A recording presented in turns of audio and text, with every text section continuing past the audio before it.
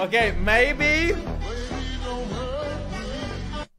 Ma- just maybe watching reels or like watching the type of reels I get on stream is quite um